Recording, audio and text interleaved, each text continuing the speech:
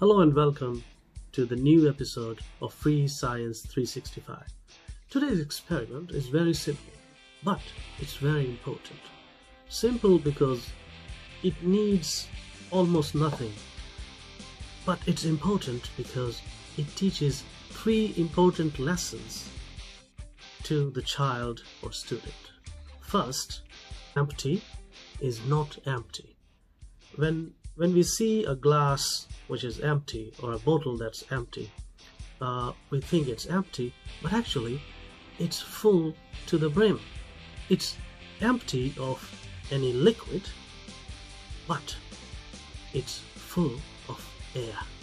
The second thing that the child uh, learns today is Bernoulli's principle. Now, Bernoulli's principle is actually responsible for you know the airplanes going up in the sky. Uh, but this experiment shows in, in a very simple way how it works and what is Bernoulli's principle.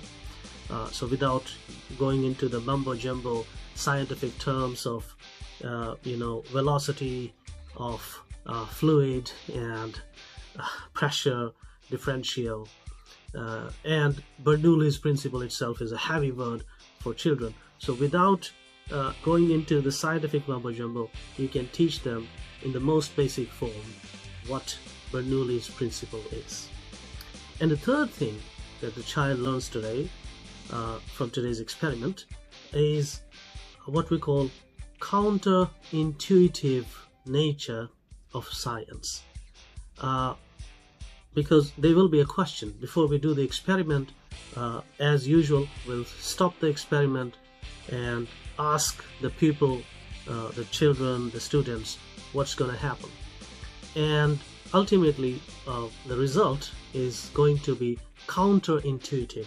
And so the idea is that we inculcate this uh, this idea into the child's mind that something sometimes things get into uh, you know uh, counterintuitive, uh, but that's okay. Uh, if you see or observe something that's counterintuitive, try to go into uh, the reason behind that instead of you know uh, not accepting it. So those are the three things that the child learns from today's experiment. First is that an empty container is not empty at all. Second, Bernoulli's principle. And third, that counterintuitive uh, less is okay. Okay, so uh, without further ado, let's get started.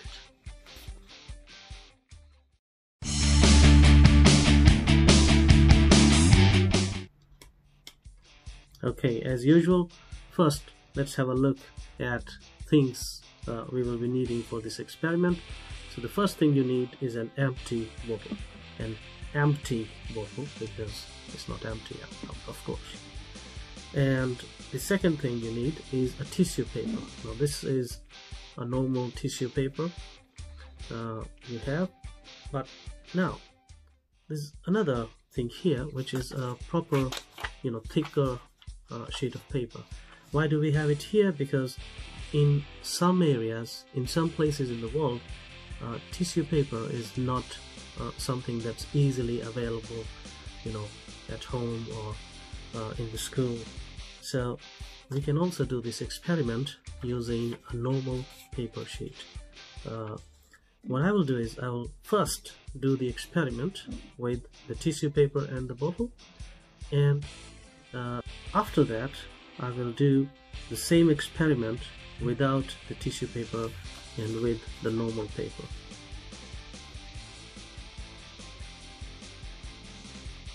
Okay, so without further ado, let's get started.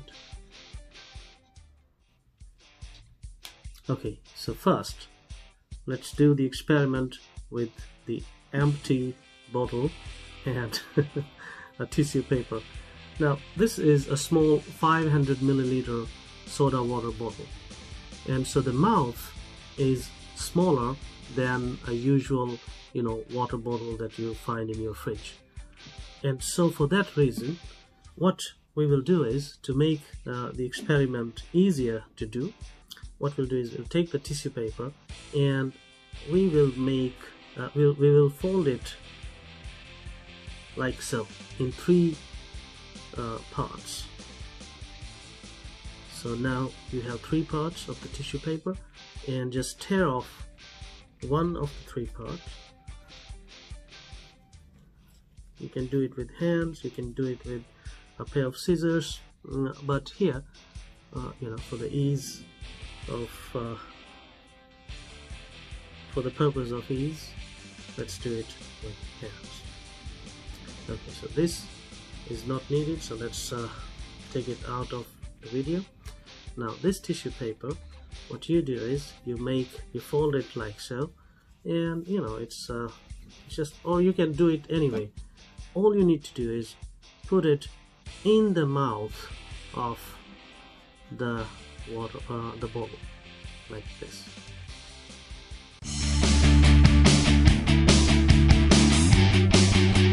The challenge is to blow air into the mouth of the bottle and get this tissue paper inside the bottle. Very simple. Now the question that you should be asking before actually performing the experiment is where will the tissue paper end up? In the bottle?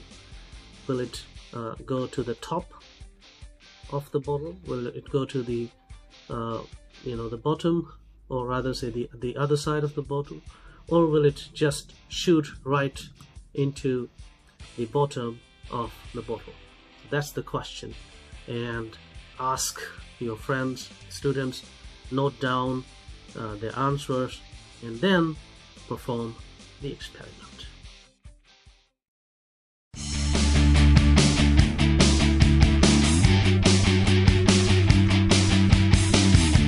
Alright, so let's do the experiment. So I'm gonna blow air into the mouth of the bottle, like so, and let's see what happens to the tissue paper.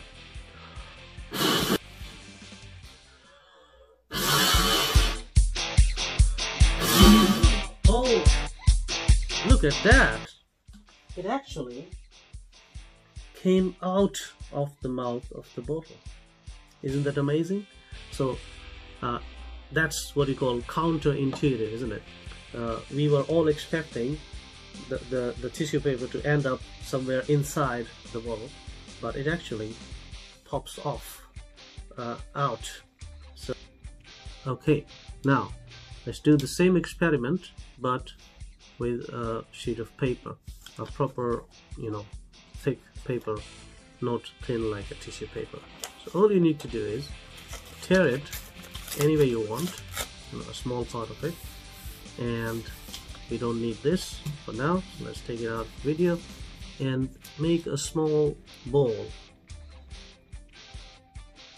like so. So you got a small ball of normal paper and you put it in the mouth of the ball like so. So this is in the mouth of the ball. And again uh, challenge the student or friend into uh, you know blowing the air into the mouth of the bottle and get uh, this paper ball inside of the bottle so let's try. Ready look at that it flew out. Isn't that amazing? Uh, let's try another one. So with the remaining paper I just make another small ball. Uh, it can be a little bigger than this as well. Uh, and okay let's uh, put the ball in the mouth. Like so. Yeah it is. And I'm gonna blow into the mouth. Look at that. So it always comes out. The shred of paper will actually fly out instead of going in. And that was today's experiment. So what did we learn from today's experiment? As I said in the beginning of this video three things. First this bottle is not empty. It's actually full of air. And it's so full of air that if you try to put in more air try to you know pressure more air by blowing into it uh, the air that's existing inside of it actually comes out. Very similar to when you have a glass full of water and you try to you know pour more water into it uh, what happens? Well the existing water will just spill uh, out of the glass. Similarly the air also does the same thing. Uh, the only difference is water is visible to us but air is not visible to us. But actually uh, their nature is the same. Both of them are fluids the second principle we learned is actually Bernoulli's principle and uh, you can just tell the students that this is exactly the same principle on which airplanes can uh, go up in the sky, can fly, even though they are much heavier than air. And the third thing we learned is sometimes things go happen in the nature counterintuitively and that's good that's actually very very good.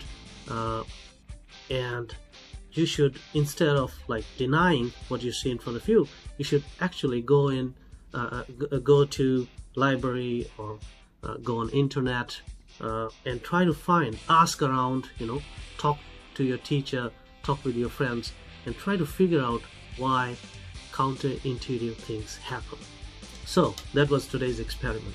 Very simple but very important thank you for watching and as always I uh, request you to kindly subscribe uh, like and comment uh, and try to spread it as much as possible. Thank you and I will see you in the next one. Bye bye